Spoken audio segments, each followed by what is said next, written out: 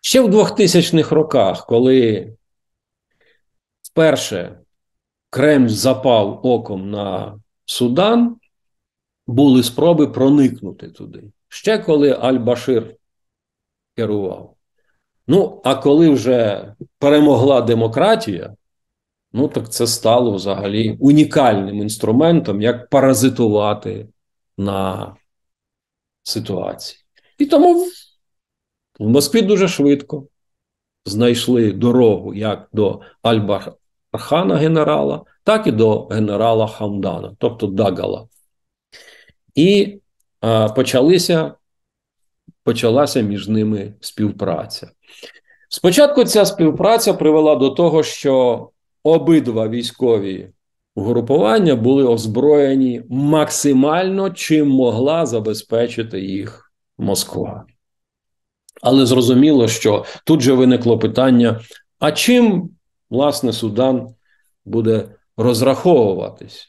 Як ви знаєте, це не проста річ, це дуже дорога. Ну, на першому етапі розрахунок відбувався через а, постачання нафти, вивезення нафти. Але все це від самого початку, як ви розумієте, носило контрабандний характер.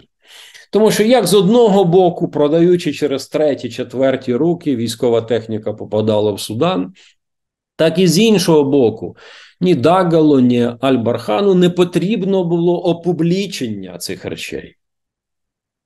Торгівля зброєю і нафтою, нафтопродуктами. Ну, очевидно ж, бо це ховалося не тільки від зовнішнього світу, а й насамперед від внутрішнього світу, від того, хто мріяв про демократію, про демократичне життя. А тут же розумієте прекрасно, що за будь-яких умов такі речі ставали відомі. І тому, посовавшись у цій ситуації, власне, і переворот 2019 року він мотивувався тим, що ні Дагало, ні Аль-Бархан уже не могли приховувати свою співпрацю і свій союз із е, фюрером Путіним, бо вуха стирчали звідусіль.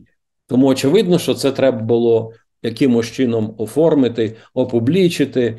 От. І, власне, ось 2019 рік, коли вперше на саміті Росія-Африка перед вами видно, як по суті особа, яка в результаті перевороту отримала ключову позицію, це генерал Альба Хан зустрічається. А він як керівник тимчасового перехідного уряду чи влади, скажімо так, і фюрер Путін. Власне, з того часу починається політичний період співпраці між е, двома дуче на найвищому, на найвищому рівні. Але треба розуміти, що ця ситуація має економічні підвалини. А, Золотокопальні, які є на території Судану, за цей час захоплюються вагнерівцями.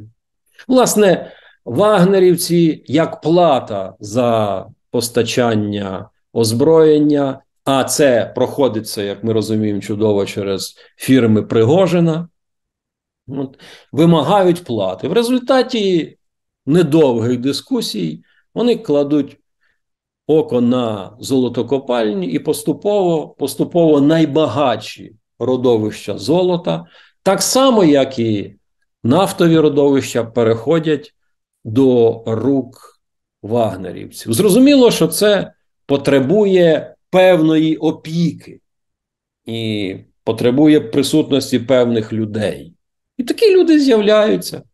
Ось на фото один із тих, хто стає ключовою фігурою в управлінні майном, яке знаходиться на території Судану, це Олександр Кузнєцов. Власне, це той, якого в Україні знають під позивним Радомир. Власне, це той, хто в Україні іноді трактується як один із перших фундаторів приватної армії Вагнера. Ну, а ось той, на кого оформлені більшість підприємств, більшість об'єктів власності, які є на території Судану. Михайло Потєпкін, який має безпосереднє відношення до фабрики тролів, який має безпосереднє відношення до таких речей, як а, загальноросійський рух наші, ну і багато багато чого. Але якщо брати безпосередньо управління ситуації об'єктами власності на території е, Судану, особливо золотокопальні, то ключовою фігурою там є Кузнєцов, а тим, хто безпосередньо займається управлінськими рішеннями, Михаїл Потєпкін. А Як може бути таке, скажете ви, що якась там приватна армія, навіть якщо вона прикривається фюрером Путіним, десь там в Африці, так ні з того, ні з цього, захопити владу і тероризувати цілу державу, цілий народ. Та ніяких проблем у цьому відношенні немає, бо є дуже високий рівень. Перед вами Ніколай Добронравін. Він ще на початку 2000-х років лобіювався Рашистаном як співробітник Організації Об'єднаних Націй.